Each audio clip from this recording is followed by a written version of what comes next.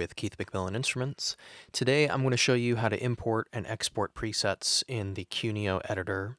Make sure you're running our latest 1.4 and you have to select any one of these sensors to start so that you can see the grid here and now from the drop down I'm just going to choose preset 13 which is our MPE preset and then you can go up to file export preset and I'm going to put this on the desktop. I actually already did this earlier, so I'm just going to choose this again and save it, and we'll overwrite that.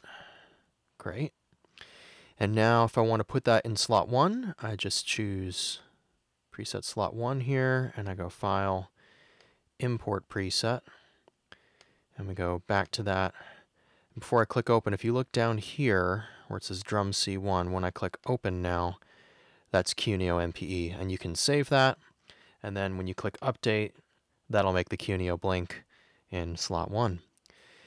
That's it. We hope you've enjoyed that, and we'll catch you next time.